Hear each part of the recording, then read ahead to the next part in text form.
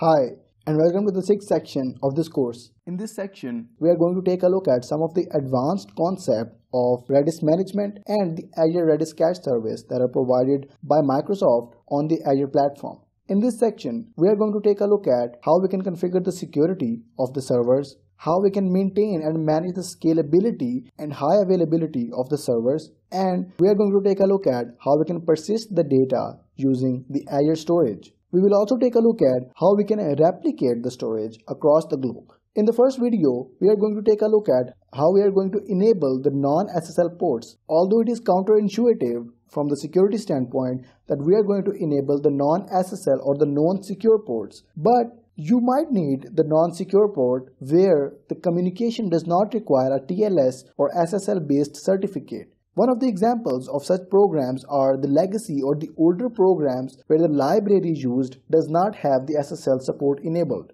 The non-SSL channels can allow anyone or everyone to connect to the server and communicate without requiring to communicate through a certificate, a valid certificate that has to be used on the internet. But it is recommended that you always consider using SSL ports only and the SSL certificates are also managed by Microsoft Azure so you don't have to pay anything for that. Let's go to the Azure portal and try to see where and how we can configure and allow the non-SSL ports to be used.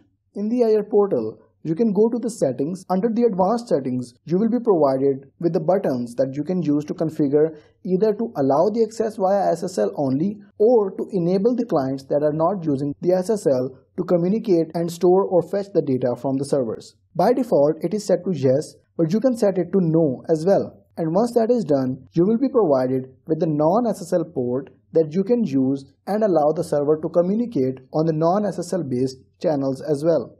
You can see that both the ports are different. The 6380 port is for the SSL port and the 6379 is the port for the non-SSL communication. So you will be using this port while communicating with the Redis client on a non-SSL port. Apart from the SSL configuration, another major configuration available over here is the policy that you are going to use once the Redis server hits the maximum memory limit. The drop-down provides you with a few options that you can use or configure the policy to perform the action once the maximum memory limitation has been hit, such as remove the keys or the data randomly or decide which of the objects are going to die first and then use them or remove the data that nobody is currently using or is less frequently accessed. So these are a few of the settings that you can define and control all by yourself. In most of the cases, you should leave it to the default because Redis server has been configured in such a way that it knows which of the data is important in the cache and which of the data can be removed as needed. And coming back to the topic, it's again a recommendation to always enable the SSL and use the SSL channels to communicate on the internet only because you never know when some potentially sensitive information such as a credit card information can be shared. The reason behind that is that the SSL ports use the certificate and all of the information travels in encrypted form on the wire and only server or the program that the user is using knows what the data was all about. So the man in the middle attacks are less. The SSL can only be removed for the legacy purposes and even so you should not allow any sensitive information to be entered such as the credit card information or personal details such as social security numbers. So that was a tip for the security standpoint in the certificates.